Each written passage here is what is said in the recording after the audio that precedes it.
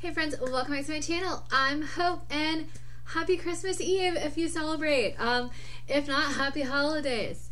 So this video is going to be about some Christmas historical romances that I read. So I read two like full-length novels and four novellas.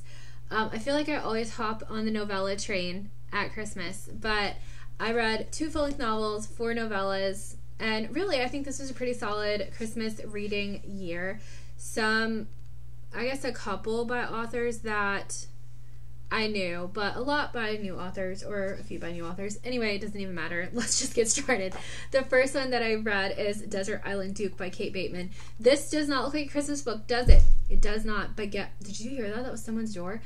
But guess what? This is a Christmas book. So in this one, we are following Carol and Max. Carol and Max are stranded on a desert island um, because they were on a ship that capsized, but like everyone else is stranded just over there on that other island. They can wave at each other, but they don't have a way to get back and forth. So Carol and Max are slightly antagonistic. He's her brother's best friend, but the two of them have kind of butted heads. But that's probably because Max is attracted to her. So the two of them are stuck on this island together. Together, we're getting close to Christmas, um, and they are just trying to survive. And there's a lot of fun stuff. They have to build shelters. They go for like a swim in a waterfall. There's a giant tarantula on him. Like so much stuff happens and they actually have so much character growth for this being such a short book. You really get to see them grow and come around to each other. I feel like Carol matures quite a bit because there's parts of it where you're like, mm, girl, but I feel like she really does mature like quite a bit. I ended up really liking this. I think it's so cute and I really feel like it opens the door for more Ruthless Rivals books because this is book 3.5. Um, and I just felt like it really opened the door for more. This is a pretty short read, but it is action packed and it's so fun. And as usual, Kate Bateman's romances are absolutely superb. So, absolutely here for this one. Let's see. Then I have An Affair Before Christmas by Eloisa James. Would you look at that? Absolutely stunning. So, this is actually a marriage in crisis romance. I don't really read those that much, but in this one, we are following Poppy and Fletch.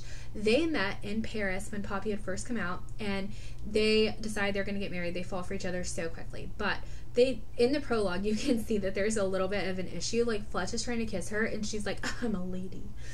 Um, so apparently that is going to follow them for like their whole life. And then a couple years later, um, they are not sleeping together anymore because she just sits there stiff as a board and it's super uncomfortable.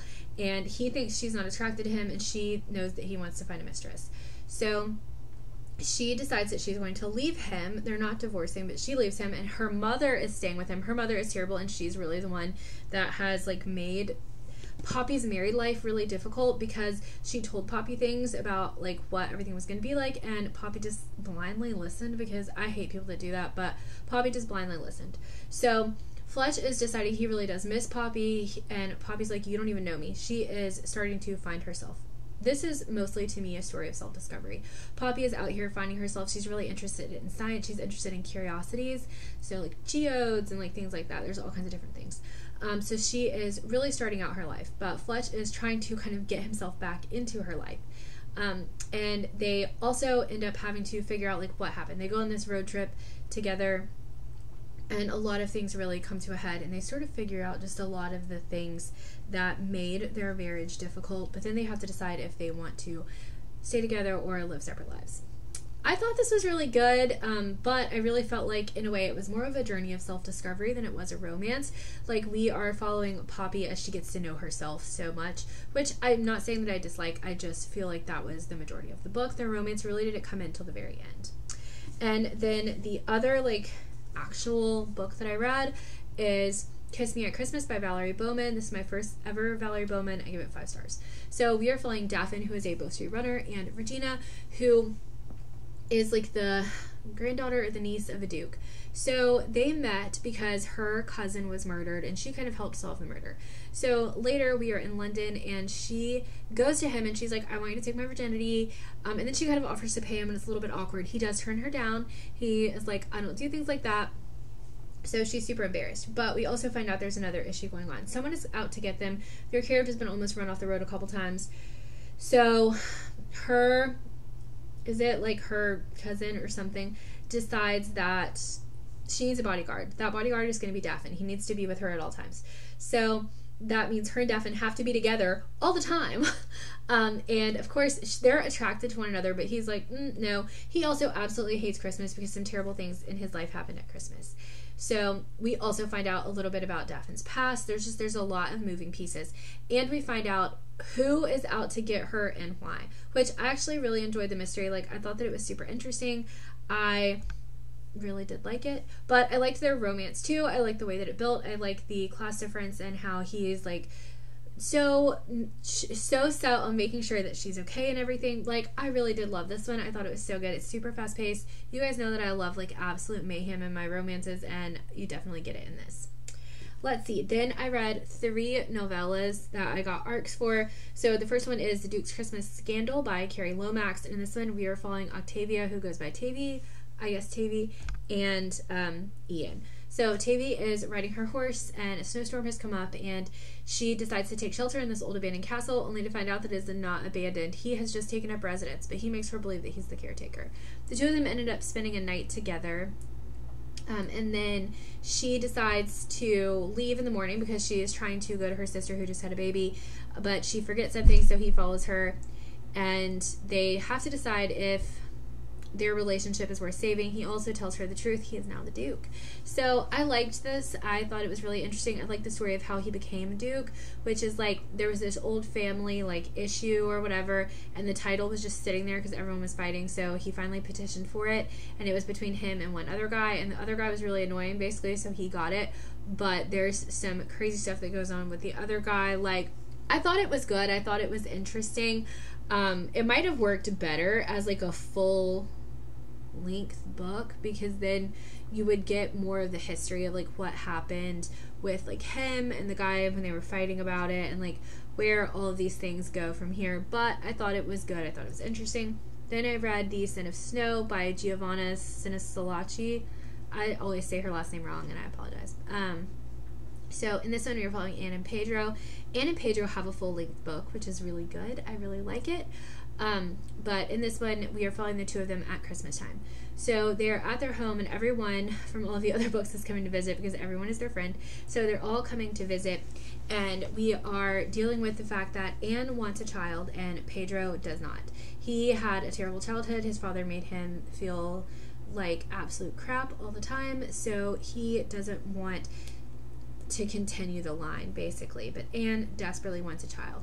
Throughout all of this, there's also kind of a myth of these two kind of star-crossed lovers. Um, and a cursed bridge, which uh, the bridge sits on the property. And I thought it was really interesting. I really like seeing Anne and Pedro together, even when they're having some difficulties. Like, I end up really liking their banter. I like the way their characters interact with one another. I really like having everyone together. Um, I really liked Anne and Pedro's book anyway, so that might be why, but I really liked it. Um, I love how everything played out with like the myth tying into like real life and everything. I think that's so much fun. I absolutely love stuff like that. So, that one was really good. And then the last one that I read is called 12 Days with the Earl. And in this one, we are following a girl named Patience and the Earl of Beaumont. So they kind of live on adjoining properties, and they both usually go to the same Christmas party every year. On the way to the Christmas party, her carriage overturns, and he ends up rescuing her, and he takes her to his house. Um, but she is super worried because she wasn't really going to stay at this party very long. She was really just going to take a lot of food and bring it back home because her and her servants are basically starving. Um, so he kind of finds out what's going on. But the reason that they're enemies is because a long time ago, a couple years ago, um, right after her parents died, he was courting her, they thought, like she thought. But then this girl comes up to her and is like, he only wants your land. So she listens, and I'm like, okay, so this is kind of your fault because you just decided to listen to gossip. So they are spending time together. She tries to leave and she gets lost and all kinds of stuff, like very dramatic, my girl. But we find out like the whole story, of course, and it ended up being cute. I really don't love it when everything is based on miscommunication. Like if she had just talked to him, like everything could have been sorted out, which sometimes that is the case, but I'm glad that this was novella length because you were able to like read it and then get past it like you know because the book is so short if it had been like full novel length i would have been super annoyed if that was like the main source of conflict but in a novella it didn't bother me all right, so that's it. That is the Christmas historical romances that I read this year. Um, I think it was pretty good. Next year, I have a couple like full length ones that I'd like to read um, because this year I was just so lazy about it. But I think overall these were good. I did find a new five star, uh, so that's good. And I started a new series by Eloise James, which is always a good thing. So that's all that I have for you guys today. I do hope that you enjoyed it, and I'll see you next time. Bye.